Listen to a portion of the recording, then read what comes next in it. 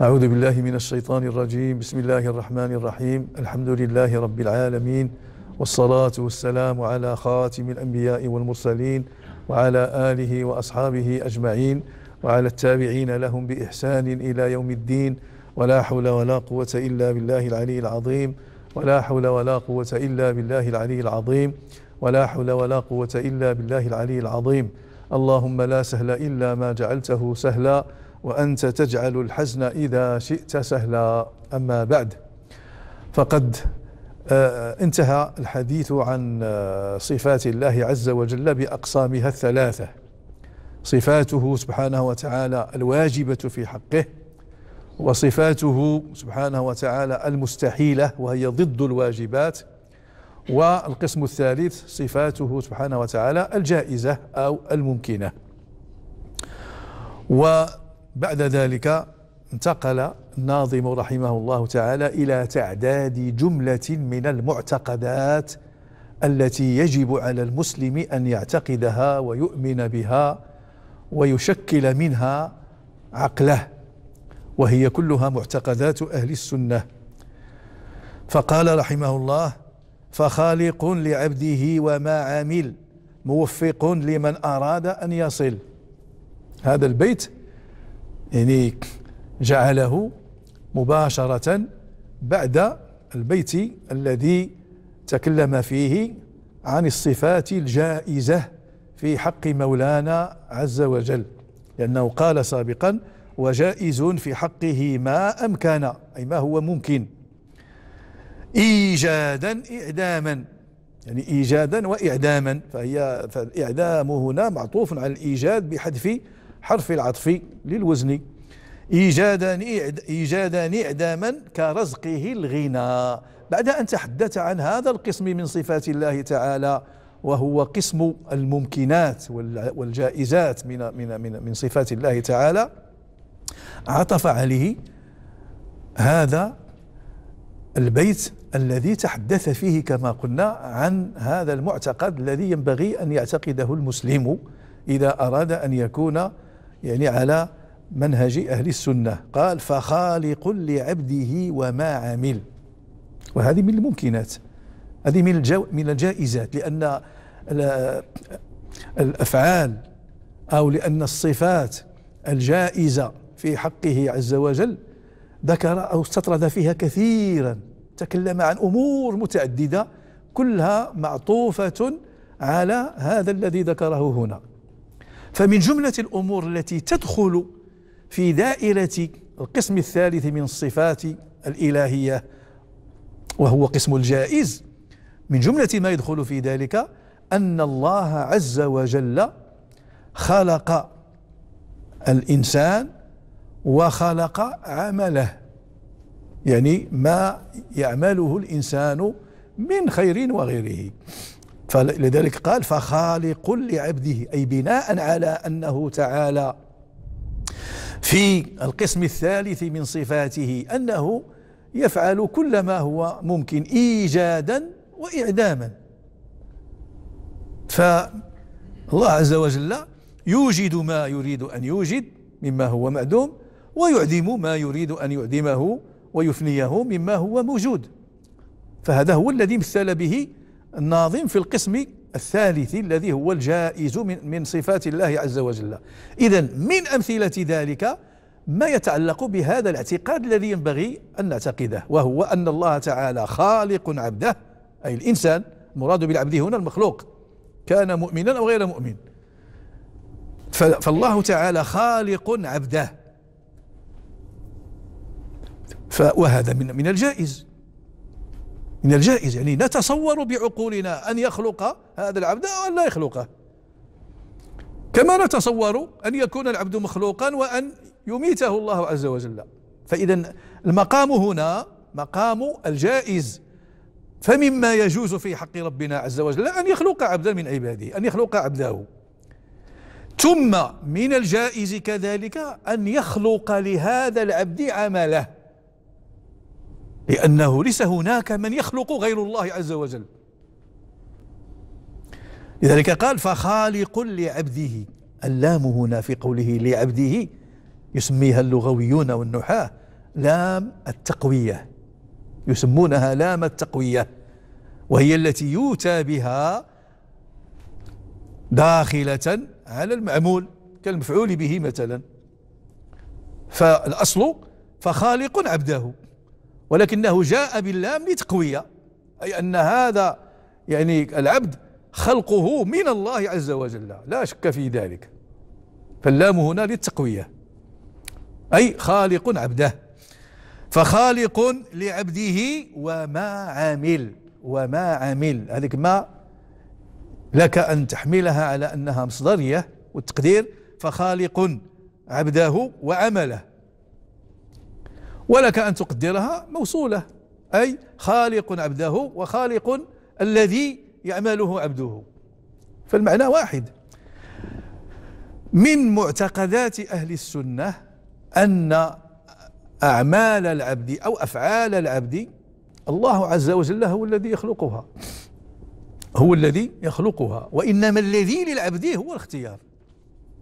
أي الأفعال التي يكلف فيها ويحاسب ويعاقب ويثاب على الخير إن فعله الذي يعني يجزى عليه بالثواب أو بالعقاب هو اختياره لهذا الفعل أو لهذا. أما الفعل في حد ذاته فالله تعالى خالق إياه في عبده ولا يستطيع العبد أن يخلق فعله على خلاف ما ذهب إليه المعتزلة.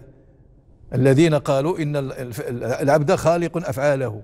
والله مقدره, مقدره على ذلك. فأهل السنة مذهبهم أن الله تعالى خالق العبد وخالق عمله. ولكن مقتضى التكليف الذي كلفه به هو أن لا يفعل إلا ما فيه رضا الله وما فيه طاعة الله. لا يفعل إلا ما يكون به ممتثلا مطيعا وأن يجتنب فعل ما يكون به عاصيا. وهنا يدخل الاختيار. فالواجب والفرض المكلف قادر على أن يفعل أو أن لا يفعل. فإن فعل أثيب إن فعل بنية الطاعة أثيب وإن لم يفعل عوقب. وكذلك الحرام الفعل المحرم المكلف قادر على أن يفعله وقادر على أن يتركه. وهذا الأمر سيتكلم عنه من بعد قضية الاختيار. لكن الآن الذي يعنينا هو أن أفعال العبد الله عز وجل هو خالقها. لذلك قال فخالق لعبده وما عمل. فخالق لعبده وما عمل أي الله تعالى خالق عبده. وخالق عمل عبده وفعل عبده. يعني لكن كثير من الآيات تدل على ذلك. خالق كل شيء. فالله تعالى هو الخالق لا غيره. موفق لمن أراد أن يصل. من أراد من عباد الله عز وجل أن يصل إليه بالطاعة والعمل الصالح فالله تعالى يوفقه ويعينه ويهديه إليه. موفق لمن أراد أن يصل. إذا لا بد أن تكون عند العبد إرادة الوصول إلى الله سبحانه وتعالى بالعمل الصالح والطاعة والامتثال. فإن هو أخذ بأسباب ذلك أعانه الله تعالى ووفقه. وخاذل لمن أراد بعده. وخاذل لمن أراد بعده. يعني آه كلمة بعده لك أن تحملها على معنيين. يعني من أراد من أراد الله تعالى أن يبعده عنه كما ذكرنا من قبل يعني أن الكافر الذي يعني بقي معاندا يعني مجاحدا ولم يستجب ولم يفتح قلبه للهداية أبدا حتى مات على ذلك فذلك أراد الله له ذلك. يعني أراد الله تعالى أن يكون بعيدا عنه. فكذلك هنا وخاذل لمن أراد بعده. أي إذا اتجهت إرادة الله عز وجل إلى إبعاد عبد من عباده طبعا لما علمه في الأزل. ليس من قبيل الظلم والتحيز له أو ما إلى ذلك لا أبدا. يعني إذا علم الله تعالى في عبد من عباده أنه لن تكون منه هداية ولا استجابة ولا إيمان ولن يكون منه إلا الضلال. فإذا في حقه نقول يعني آه وخاذل لمن أراد بعده. فمن أراد الله تعالى أن يبعده عنه وعن قربه له فهو خاذل له. والخذلان هنا عدم الإعانة عدم الإعانة وعدم المساعدة وعدم التوفيق. وخاذل لمن أراد بعده. ولك أن تفسرها بأن العبد الذي لم يريد القرب من الله تعالى العبد الذي أراد البعد عن الله تعالى فالله يخذله ولا يعينه للقرب منه. وخاذل لمن أراد بعده ومنجز لمن أراد وعده. فالله تعالى إذا أراد أن يعيد عبدا من عباده يعني بالخير وبالجنة ونعيمها فالله منجز له ذلك. ومنجز لمن أراد وعده. فوز السعيد عنده في الأزل كذا الشقي ثم لم ينتقل هذا معتقد آخر لأنه الآن كل ما يتكلم عنه الناظم فهو متفرع عن القسم الثالث من صفات الله تعالى وهو الجائز. قال فوز السعيد عنده في الأزل يعني آه العبد الذي كتب له أن يكون سعيدا في الآخرة. وفي الدنيا كذلك لأن السعيد في الآخرة سعيد في الدنيا. الذي كتبت له السعادة. فذلك مكتوب له في الأزل. يعني قبل أن يولد هذا العبد السعيد أو هذا العبد الذي كتب له كتبت له السعادة. فالله تعالى قد كتب له ذلك منذ الأزل لأنه علم ما سيكون منه. فوز السعيد عنده أي عند ربنا عز وجل في الأزل. في الأزل. كذا الشقي أي وشقاوة الشقي معلومة عند الله في الأزل ومكتوب يعني و, يعني موجودة في الأزل. إذا فوز السعيد عنده في الأزل كذا الشقي. أي شقاوة الشقي معلومة عند الله تعالى في الأزل. ثم لم ينتقل أي لم يتغير ذلك. فمن كان سعيدا عند الله تعالى في الأزل من علم الله سعادته وأنه سيختم له بالحسنى فذلك يبقى هكذا لا يتغير لا ينقلب إلى العكس. لا ينقلب فوز السعيد إلى كونه شقيا وعدم فوز وأنه ليس بفائز ولا الشقي ينقلب إلى سعيد. هذا هو المعنى. وليس هذا أبدا من باب الحديث الذي فيه قول النبي صلى الله عليه وسلم إن أحدكم لا يعمل بعمل أهل الجنة حتى لا يكون بينه وبينها إلا شبر أو أو ذراع. فيسبق عليه لا هذا هذا ذلك موضوع آخر. ذلك موضوع آخر بمعنى أن الذي مثلا آه عامل طول عمره طول حياته بعمل أهل الجنة ثم إنه في آخر حياته سبق عليه الكتاب فعمل بعمل أهل النار فكان من أهل النار. هذا بالنسبة للكلام الذي نتكلم عنه الآن مكتوب أو مكتوبة شقاوته عند الله في الأزل. لأن العبرة بالخاتمة العبرة بالخاتمة. ولذلك نسأل الله تعالى حسنها. إذا هذا من جهة. من جهة أخرى أن الذي عمل طول حياته وطول, وطول عمره بعمل أهل النار ثم سبق عليه الكتاب في آخر حياته فعمل بعمل أهل الجنة فدخلها. فهذا هو الذي نقول فيه إن فوزه كان عند الله في الأزل. ولم ينتقل لم لم تنتقل السعادة إلى شقاوة ولا العكس. فالحديث يتكلم عن القضاء والقدر كما قد نعرج عليه في محله. وأما الكلام الذي يتكلم عنه الآن الناظم فشيء آخر يتكلم عن أن الله سبحانه وتعالى علم الفائز من الشقي. السعيد من الشقي في أزله. وقلنا فوز السعيد عنده في الأزل كذا الشقي ثم لم ينتقل أي من علم الله تعالى عنه أنه سعيد فإنه كذلك. ولا يمكن أن يتحول إلى شقي والعكس بالعكس. وعندنا للعبد كسب كلف وعندنا للعبد كسب كلف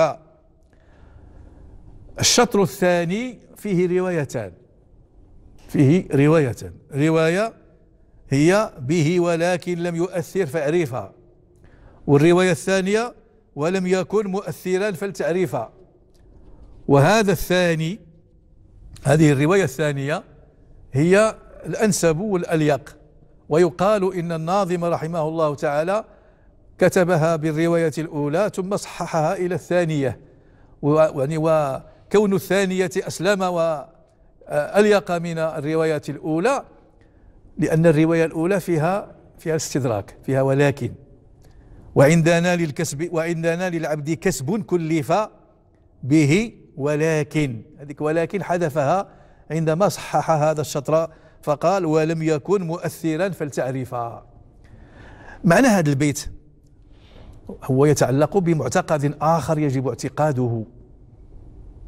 وهو أن الله سبحانه وتعالى نحن قلنا إنه خلق العبد وخلق عمله وفعله.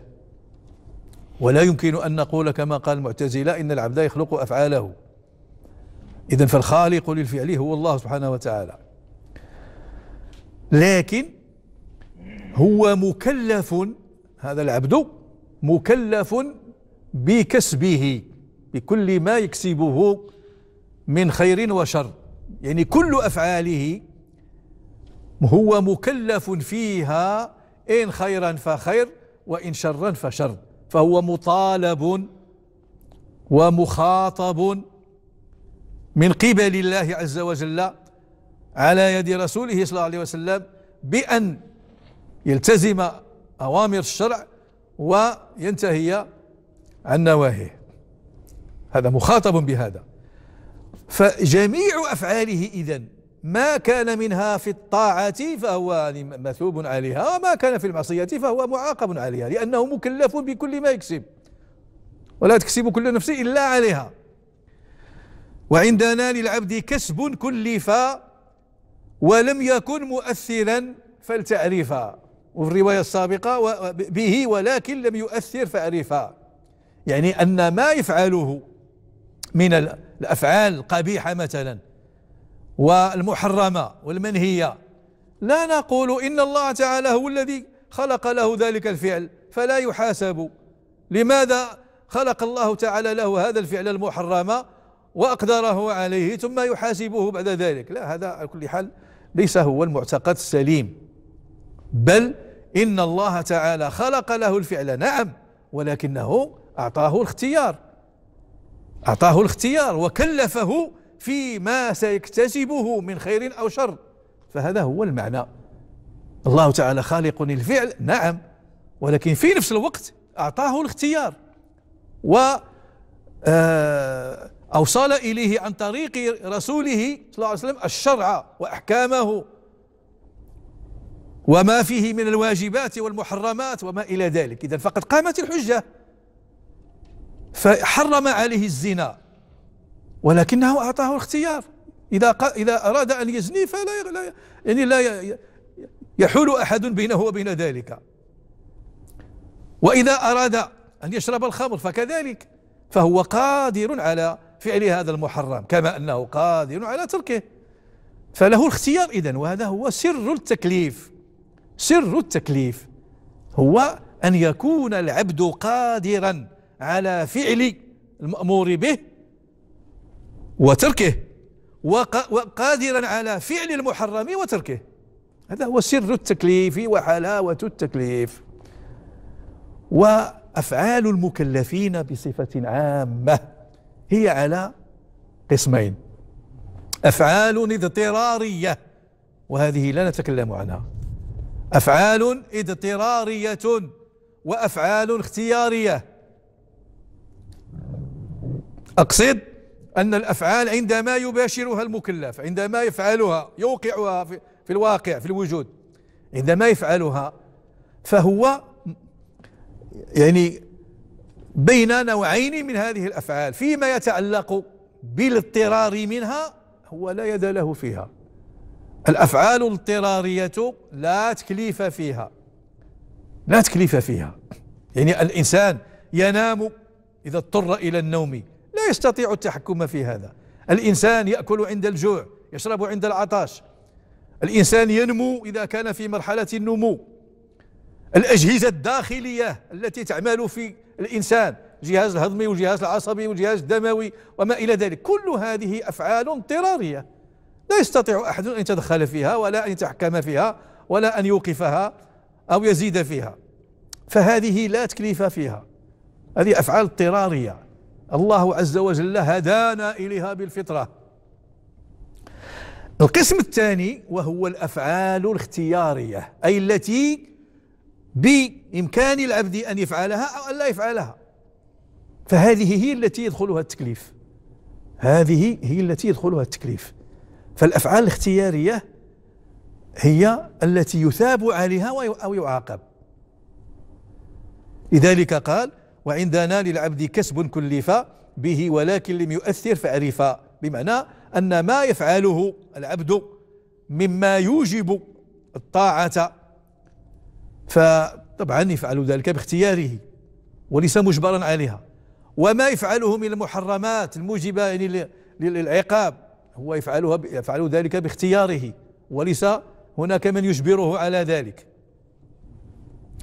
فليس هذا النتيجة. فليس مجبورا ولا اختيارا وليس كلا يفعل اختيارا. فليس مجبورا. يعني ما يفعله من الأفعال التي قلنا إن الله تعالى هو خالقها ما يفعله ما يفعل من هذه الأفعال. منها ما هو اضطراري نحن قلنا إن التكليف بعيد عن عن عن هذه عن هذه المنطقة. منطقة الأفعال الاضطرارية لا تكليف فيها. ولكن منطقة الأفعال الاختيارية التي يقدر الإنسان على على فعلها وعلى عدم فعلها هذه هي التي فيها التكليف. فليس مجبورا ولا اختيارا وليس كلا يفعل اختيارا. حتى الأفعال الاختيارية ليست كلها يفعلها بمحض اختياره بل قد يكون فيها شيء من توفيق الله عز وجل ودفعه إلى ذلك. إذا كان ممن يستحق ذلك. ثم بنى على ذلك النتيجة النهائية وهي قوله فإن يثيبنا فبمحض الفضل وإن يعذب فبمحض العدل. إذا الأفعال التي نفعلها مما تستوجب ثوابا أو عقابا الذي قاله الله تعالى لنا وأعلمنا به بواسطة نبيه صلى الله عليه وسلم هو أن فعل ما فيه طاعته عز وجل يثاب عليه وأن فعل ما فيه معصيته معصيته يعاقب عليه. ولكن ذلك بفضله سبحانه وتعالى حتى لو أراد أن لا يثيبنا. ليس هناك من يلزمه بأن يثيبنا على الطاعة. وكذلك العقاب. ليس هناك من يلزمه بأن يعاقب على المعصية. لذلك قال فإن يثيبنا فبمحض الفضل. ليس واجبا عليه شيء من هذا. إن أثابنا الله تعالى على ما يستجيب الثواب من الأفعال الحسنة ومن يعني الأفعال التي فيها امتثال لطاعة الله عز وجل فإن أثابنا فذلك من فضله سبحانه وتعالى. وإن لم يثبنا فليس ذلك واجبا عليه ليس ملزما به. ليس ملزما به. هذه في الحقيقة إنما من إنما هي من قبيل تقرير مشيئة الله المطلقة. وليس معنى هذا أن الله تعالى يعاقب المطيع وأنه قد يثيب المسيء. عندما تجد من يتكلم عن ذلك من علماء التوحيد فاعلم أنهم إنما يقررون المشيئة المطلقة بمعنى أن الله تعالى يثيب المطيع. لا شك في ذلك. لا نتصور أن الله تعالى يعاقب المطيع ويدخله النار وإن كان من حقه ذلك. لا معقب لحكمه ولا راد لقضائه. ذلكم الله.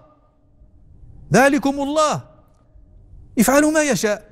ولكن حسب علمنا بصفاته عز وجل وب يعني جوده وكرمه وفضله الذي هو واسع لا حدود له. فإننا نوقن أن الله تعالى لا يدخل المطيع إلى النار ولا المسيء العاصي إلى الجنة ابتداء. فالعلماء عندما يقولون من حقه أن يثيب العاصي وأن وأن يعني يعاقب المطيع. هذا فقط لتقرير المشيئة المطلقة. أي لتقرير أن الله تعالى يفعل ما يشاء. وليس هناك من يملي عليه. وأن إثابة المطيع ليست واجبة عليه. فهذا معنى قولنا أنه من حقه بإمكانه أن يثيب العاصي وأن يعني يعاقب المطيع. وأن يدخل المطيع النار وأن يدخل العاصي الجنة. هذا فقط لتقرير المشيئة المطلقة التي لا تعقيب عليها. وإلا فلا نتصور في, في ربنا عز وجل. وقد يعني علمنا جوده وكرمه وإحسانه وعفوه وفضله وحلمه لا نتصور فيه سبحانه وتعالى حاشاه عز وجل أن يدخل المطيع النار أو أن يعني يدخل العاصي إلى الجنة ابتداء لأن هذا ظلم للآخر. فلذلك عندما يتكلم علماء التوحيد عن آه، أن الله تعالى إنما يثيب بمحض فضله وأنه يعاقب بعدله فلتقرير المشيئة المطلقة. فإن يثبنا فبمحض الفضل وإن يعذب فبمحض العدل. إن عذبنا ونحن مطيعون ونحن عابدون. ونحن شاكرون. إن عذبنا فبعدله. يفعل ما يشاء.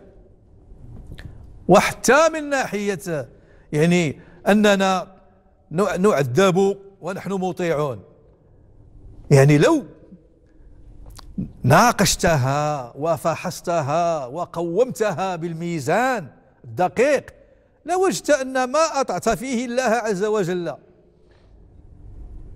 مع ما عصيته فيه مرجوحا.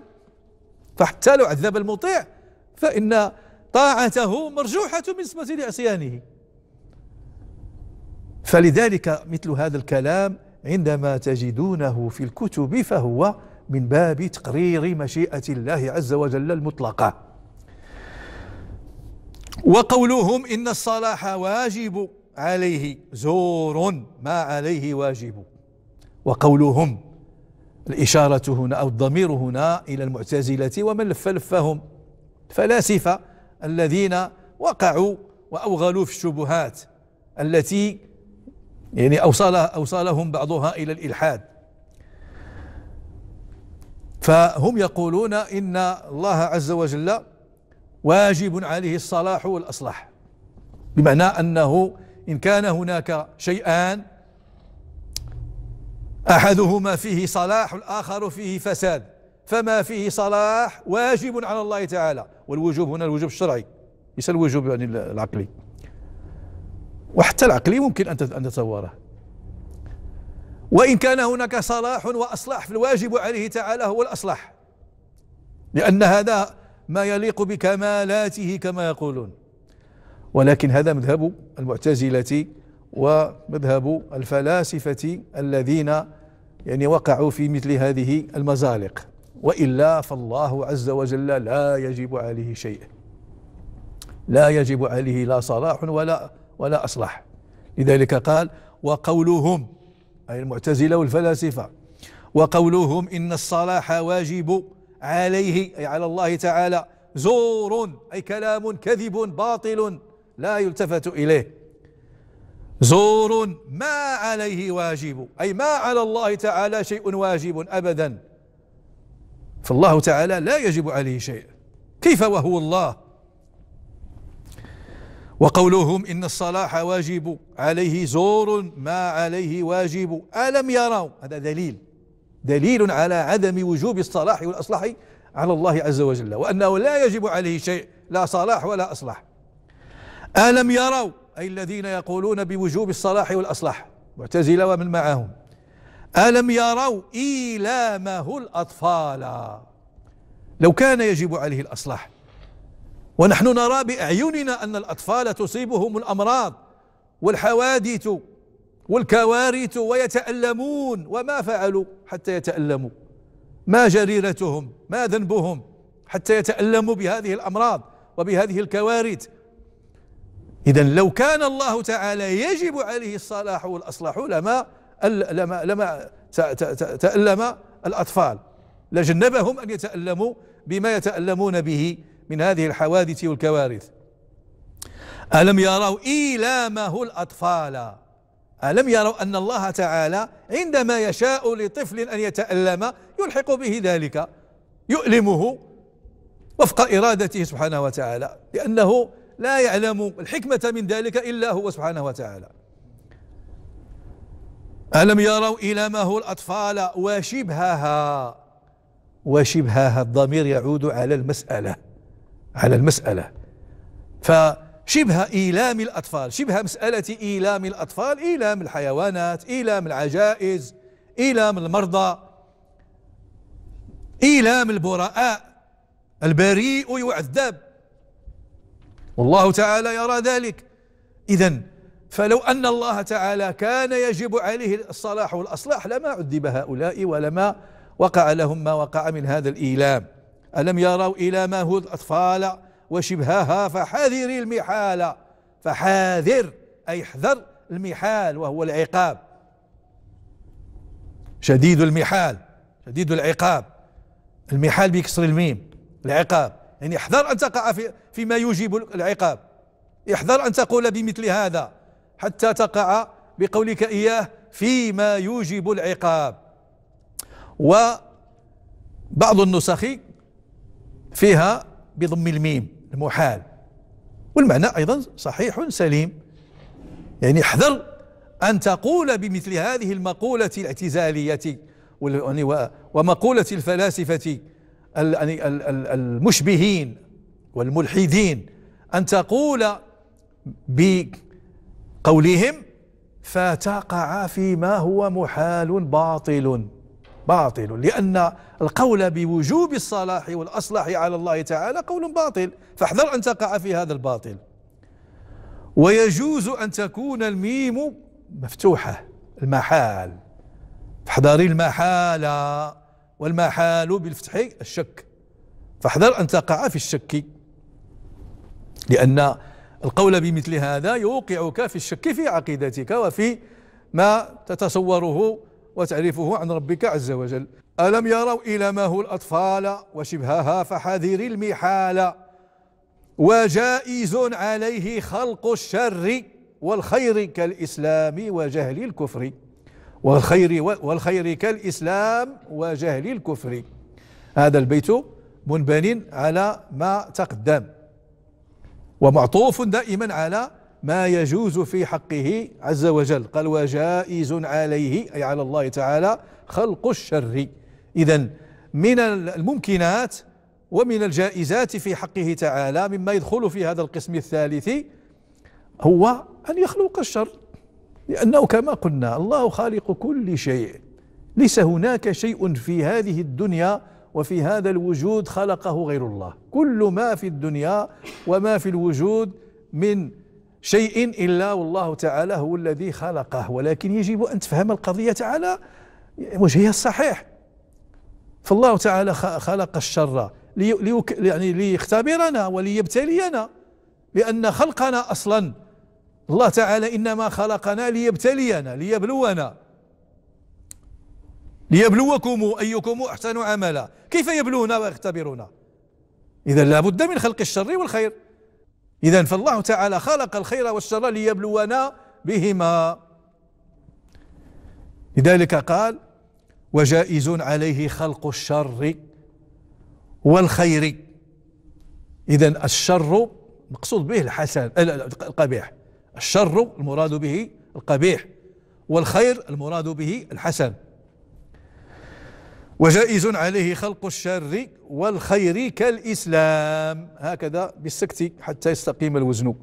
والخير كالإسلام وجهل الكفر أي كالإسلام والكفر. هذا هو المقصود عنده وهذا هو المراد عنده. وإنما جاء بالجهل لأن الجهل هو المفضي إلى الكفر. فإنما يكفر الكافر لجهله. لو علم عن ربه عز وجل ما يعرفه به وما يوصله إليه لما كفر. لما كفر. وجائز عليه خلق الشر والخير كالإسلام وجهل الكفر أي كالإسلام والكفر. فالإسلام حسن والكفر قبيح. والله تعالى خلق هذا وخلق ذاك. ثم عطف قائلا وواجب إيماننا بالقدر وبالقضاء كما أتى في الخبر. إذا من الأمور التي تجب علينا والوجوب هنا الوجوب الشرعي. الوجوب الشرعي الذي نثاب على فعله ونعاقب على تركه لأن الواجبات علينا منها ما هو من المعتقدات ومنها ما هو من العبادات ومنها ما دون ذلك وما سوى ذلك.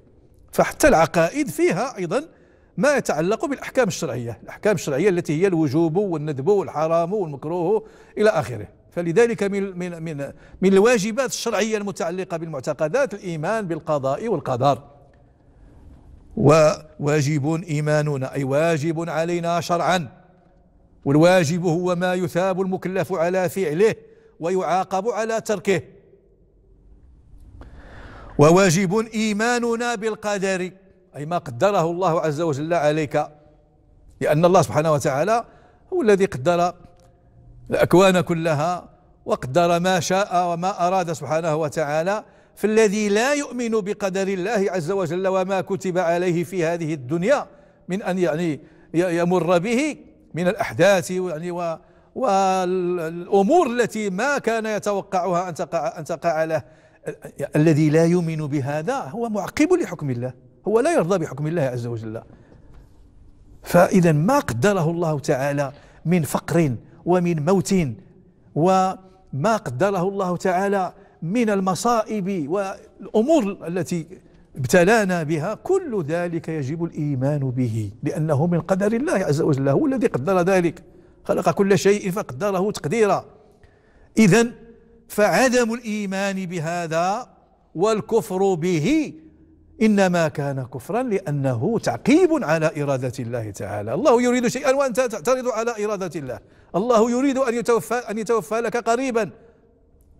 أو, أو أن يموت أعز الناس إليك. الله يريد ذلك وأنت تعقب على إرادة الله. ولا تريد أن يموت هذا القريب. فإذا عدم الرضا بقدر الله عز وجل هو تعقيب على الله. تعقيب على الله واعتراض على على إرادته سبحانه وتعالى. وواجب إيماننا بالقدر وبالقضاء أي بما حكم به الله عز وجل. ولم يوافق ما نريد.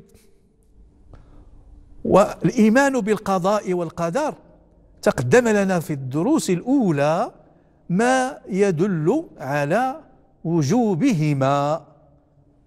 تقدم لنا في أحاديث منها حديث جبريل عليه السلام. عندما سأل جبريل عليه السلام أمام الصحابة رضوان الله عليهم عن سأل النبي صلى الله عليه وسلم عن الإيمان. قال أن تؤمن بالله وملائكته وكتبه ورسله واليوم الآخر والقضاء والقدر خيره وشره حلوة ومره. وكما قال صلى الله عليه وسلم فالإيمان بالقضاء والقدر هو جزء من من من, وحدة الإيمان ومن حقيقة الإيمان. لا تكتمل حقيقة الإيمان وماهية الإيمان إلا بأن نؤمن ونسلم ونذعن ونوقن بما قدره الله عز وجل وقضاه وحكم به. ونكتفي بهذا القدر وإلى حلقة قادمة إن شاء الله تعالى. والحمد لله رب العالمين.